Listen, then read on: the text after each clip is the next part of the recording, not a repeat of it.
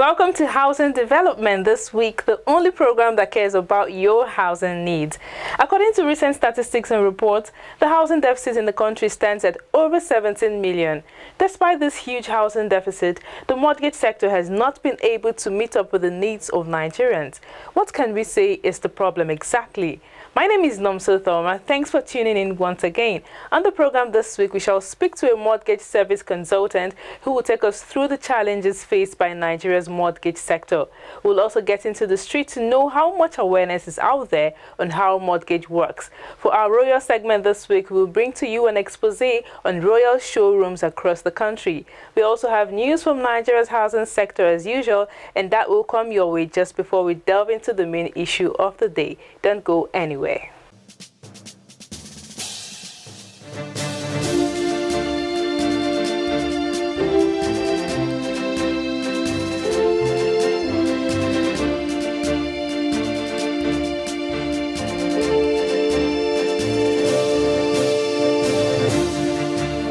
University of Lagos Center for Housing and Sustainable Development has announced a partnership agreement with Fesadeb Communications Limited, Nigeria's leading media company driving housing sector growth through multifaceted approaches encompassing TV, print, radio, online media, consultancy, and live interactive platforms.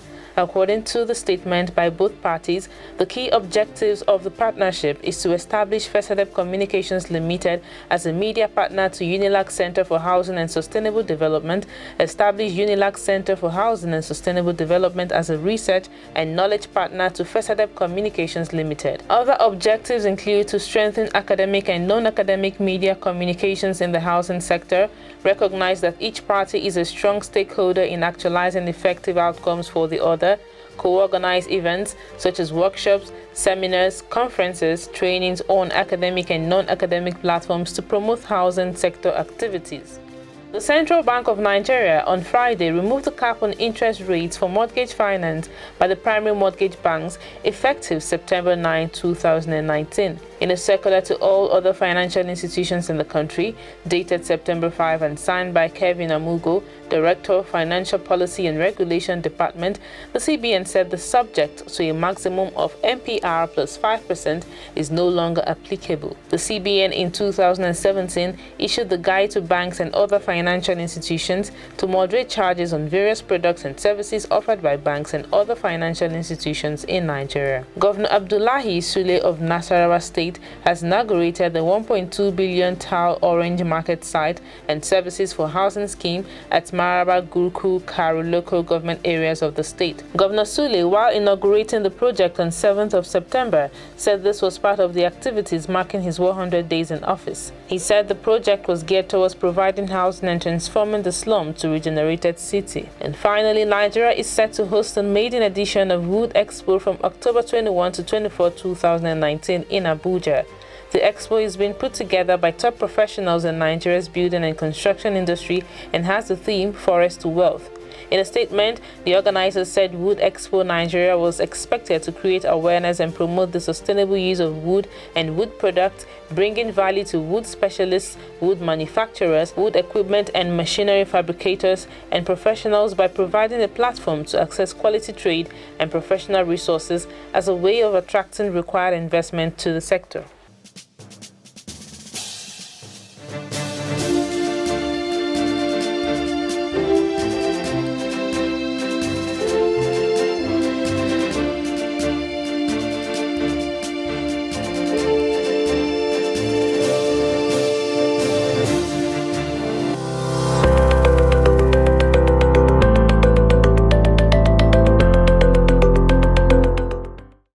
An interesting one there. Central Bank of Nigeria has removed the cap on interest rates for mortgage finance by the primary mortgage banks. Now, is this a good one for affordable housing? I believe time will tell. For more housing news, you can visit our portal at www.housingnews.org.ng. Remember to subscribe to our YouTube channel, Housing TV Africa, for more details of how you can own a home. Now, to take us further on tackling mortgage challenges in Nigeria as a way to achieving affordable housing, this interview with Mr. Fonohomi Idris definitely has some answers. A mortgage is a legal agreement that allows you to borrow money from a bank or building society at a specified interest rate in order to buy or build a house. Interest rates on mortgage loans in Nigeria range from 15% to 25% per annum, excluding fees and other charges. The question which comes to mind is, with this sort of interest rate, can low-income earners honestly afford to take up a loan?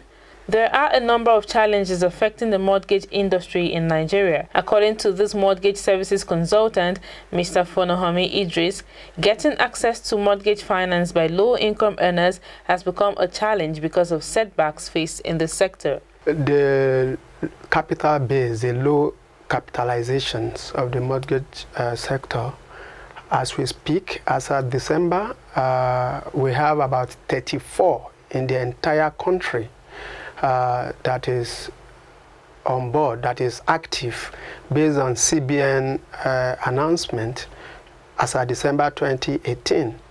And uh, out of those 34, we have less than 10 who you can find in the entire country, Nigeria.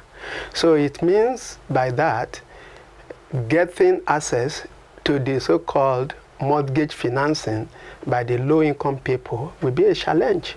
Mortgages were specifically designed to make home ownership more affordable to the average Nigerian.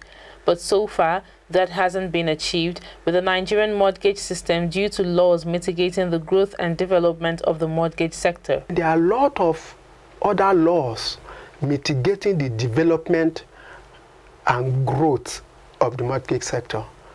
And all of this has been sent for several years into the National Assembly, but the politics around it have not let it see the light of the day. So the mortgage bankers are playing their own politics.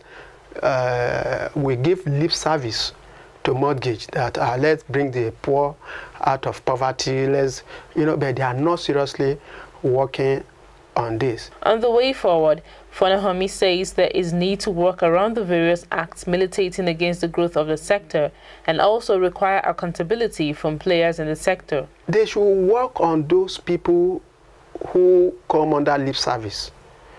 They are there for the masses. They should seriously be in the lookout for them.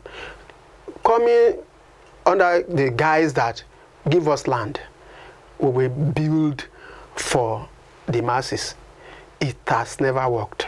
With sound policies, better data and increased access to affordable credit, it is believed an enabled housing market can increasingly provide housing that the average household in Nigeria can afford, reduce crime rate, and create jobs.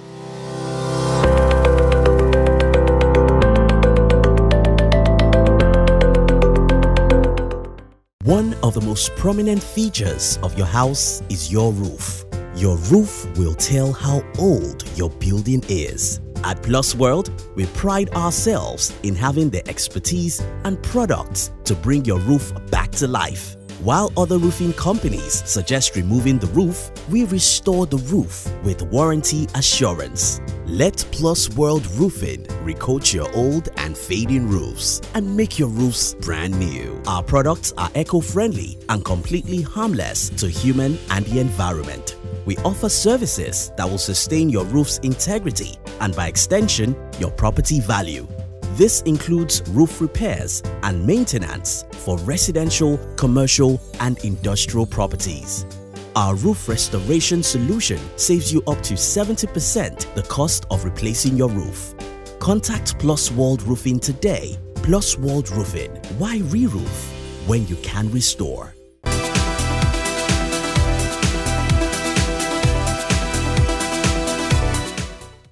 Low-income earners can comfortably access mortgage in Nigeria that will signify some level of progress in our quest for meeting up housing demands. Still talking about mortgage, let's take you into the streets to know the level of awareness the average Nigerian has about mortgage.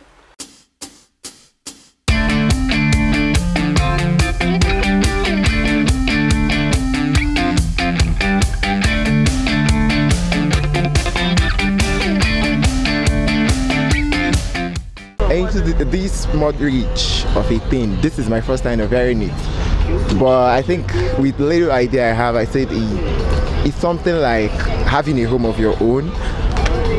And my plans of having a home of my own is just being self-independent, creating job for myself, at least starting something the word mortgage, I think I got introduced to it in movie settings. I got to hear about it where you find a family probably at um, their all-time stop because they are at the verge of losing their homes. So it was from there I decided to find out what it was, and I discovered it was it was a leg- it has some legal backing to it though. I think you you more like offer up your building, your house, for in exchange for probably money, most likely money, and. Um, if you don't meet up with the agreement, you get your home taken away from you or your building taken away from you. So that's why I say as mortgage. And I didn't like what I saw in the movie setting. So I don't like the word at all. I don't even intend doing anything mortgage with my home. Um, the word mortgage is actually is actually a financial institution or a cooperative society which help in financing projects and having houses of your own. For example, in Nigeria, and um, the contribution towards achieving those goals is like um, if the federal government can actually come in collaboration with CBN to like sponsor some um, property firms or sponsor the youth in owning properties of their own. A little I know about mortgage. I think the first time I heard that word was on Nollywood, one of their movie Money Yab Man. So Sam Loco actually was the one that uh, that used that word mortgage. From there, I began to find out what it's all about mortgage, and I found that it had to be like a kind of business term that have to do with buying and uh, selling houses on loan or buying a house on loan uh, or trying to acquire uh, to sell your own uh, property on loan. And that's a little I know about mortgage. Okay, mortgage is when you go to a bank. In the process of doing this, we have what we call a collateral. That is, it could be property, it could be land, it could be house, it could be just a landed property or something which worth much more than the money or the money. So, should in case there's a default in you returning that money you've loaned from a bank, then you lose your interest. I mean, your interest over that property. Okay, mortgage. I don't really know much about mortgage. I just believe in, you know, saving towards that, you know, save towards owning a house of your own.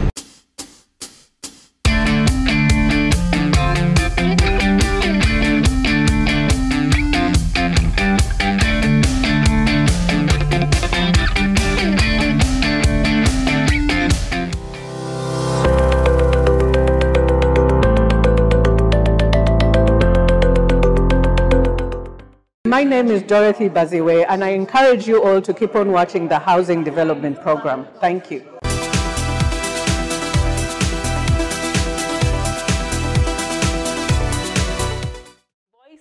Streets there, a couple of them actually said they heard of Mortgage First from a movie. Quite interesting, but obviously there needs to be more awareness on mortgage and how to access it. Now to the part where those into building and construction will be interested in. Royal Brand has been serving the needs of the building material industry in West Africa for a long time.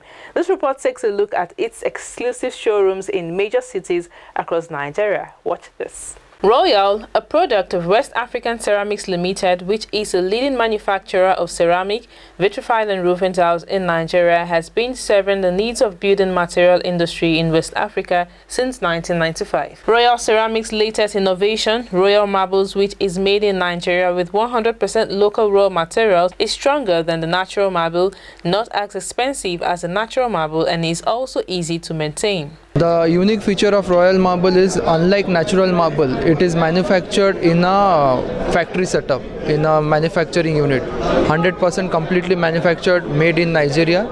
Out of it, 93% of the raw material are also sourced in Nigeria. The marble is stronger than the natural marble. It, it is not as expensive as the natural marble, and maintenance is very very easy, more uh, easier than natural marble. So these are the three key advantages. With a wide distribution network of 200 distributors, three depots across the country, Royal offers a country-wide presence for its consumers.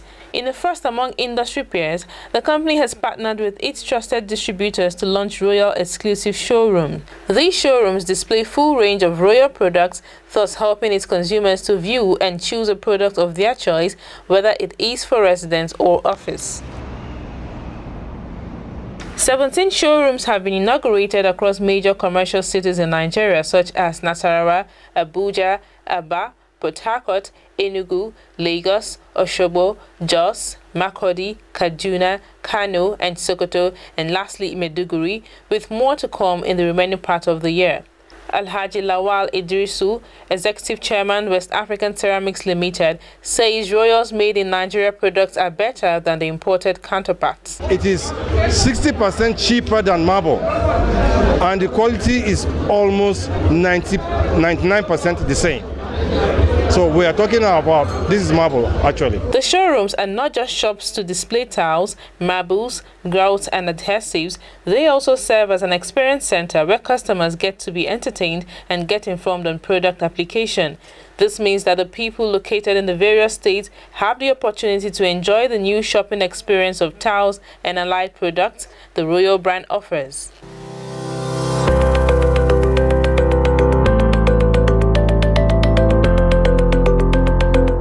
My name is Dr. Mrs. Hannatu Adamu Fika.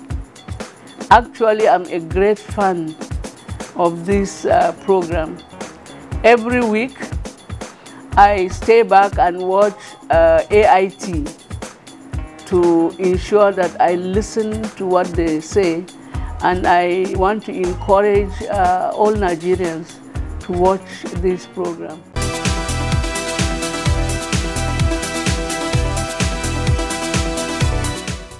Welcome back and thanks for staying glued to your TV screen. For those in need of home ownership, here's a developer you can't go wrong with. Urban Shelter Limited has got you covered. Take a look. I think Urban Shelters project is easily broken down into a few categories. Um, I think the bulk of our operations is centered on providing residential homes. Uh, in addition to residential, I think people may also associate us with providing retail. So one of the things we're kind of known for is the Garki uh, automotive market, which we delivered quite a few years ago. Actually, I think eight to seven years ago now. It's a very mature market, providing commercial spaces and retail shopping areas for people. We've also now working with AMAC really closely over the last one two years to develop over 2,500 shops in the Apo resettlement area. We're calling it the Urban Apo Market. Um, it's wonderfully located. Again, access, excellent access road. We have over 70% subscription so far. We are handing over keys uh, in phases uh, for the first 1,000 batch, and we also anticipate that in another six to eight months, the last batch was also handed over. So we like to do a spectrum of things. We're currently really busy, both commercial and residential space. I think facilities have to be key. It's kind of that crowning glory once you finish an estate, because you have to remember that you're not just handing an estate and that's it withdrawing. You're providing a living environment that people can really feel they want to raise their families in. So what's important for us is landscaping. You know, we have um, landscape architects whenever we're at the very beginning of our project so that we can really plan how to take advantage of the existing vegetation, existing flowers and greenery and things like that. So gardening and greenery is really important to us. I think it's essential. On some of our estates, we have green sustainable solutions, in particular the kind of bricks we use for building. So that's also another facility. And then getting into the more interesting side are the playgrounds. That's now becoming a standard in all of our estates. We ensure that there are playground areas for kids. Some of our estates have poolside areas as well, so they come with pools. Uh, the Bellevue Life Camp that I mentioned has a quite a sizable uh, clubhouse which provides, you know, uh, food, entertainment uh, in the evening. It becomes quite lively uh, in the afternoons. It's somewhere where families can gather. You can have mini birthday parties and so on and so forth. So it becomes a real community focal point. The standard for us are, of course, things like access roads, internal roads, power generators, and so on. Those are those, those, those of course come, you know, uh, as per standard. We have a number of different payment plans and we came up with this kind of uh, different payment plans based on the type of units. So for instance, if you're coming on from the affordable home section, we try to actually give you a really relaxed approach to payment systems. So instead of offering, you know, we don't offer the 12 months or 18 months like, like a number of other developers. We like to offer five-year payment plans, which is unprecedented. This five years, there are no hidden charges. Um, there's no mortgage that you have to pay. It's a standard payment that we spread it for you five years. I think what makes it even more interesting, and by the time we finish the project at two and a half years, so that's between 24 and 30 months, we will allow you actually to move into the house. You can get a house at Urban Shelter Limited by calling the numbers displayed on your TV screen.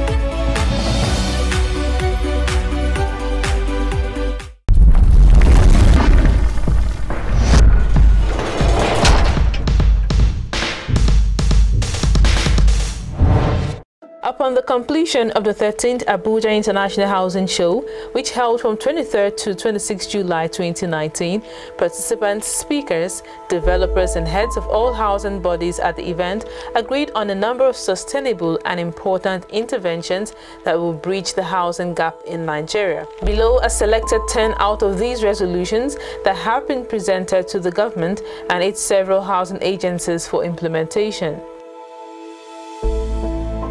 creating enabling policies around land title documentations, with government playing a larger role in assisting investors and supporting local building industries and materials.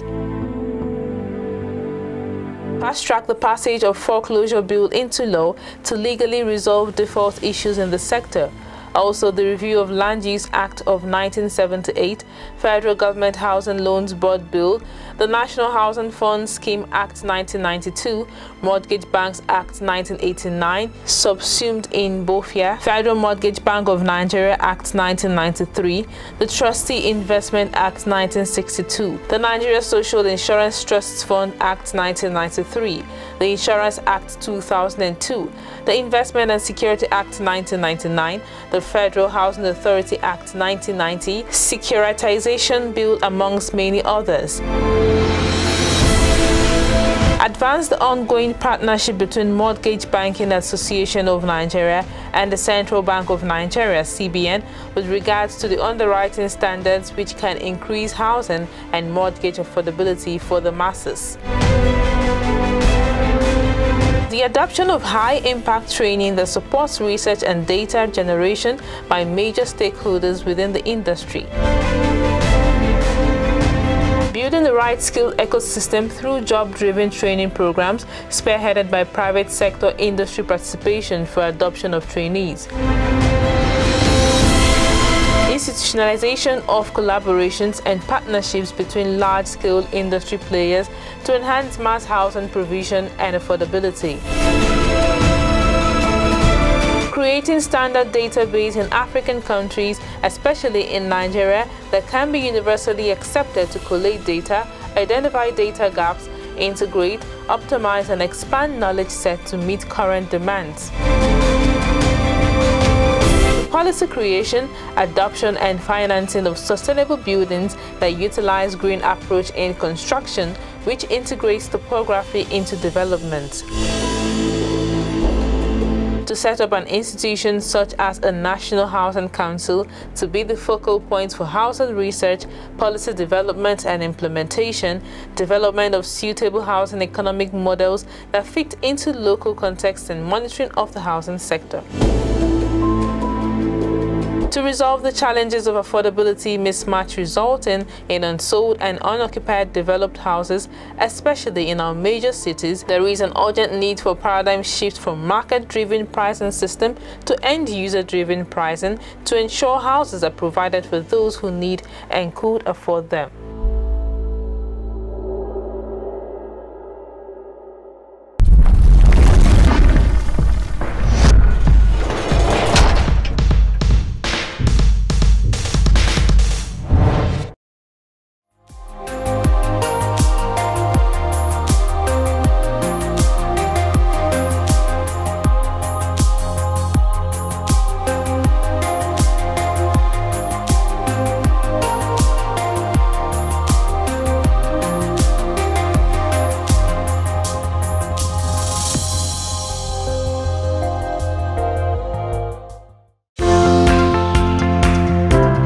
Robert Hornsby with American Home Builders of West Africa.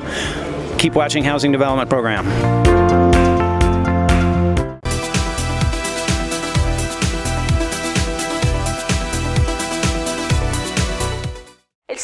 Draw our curtains for this edition. Remember to go subscribe to our YouTube page at Housing TV Africa for more updates in the housing sector. You can also follow us on Facebook and on Twitter at Housing Program. Like and share our posts. For those of you who want to be a part of this program or to advertise on it, you can send us a message on WhatsApp on our phone number on your screen or send a mail to the mail address Housing Development Program at gmail.com.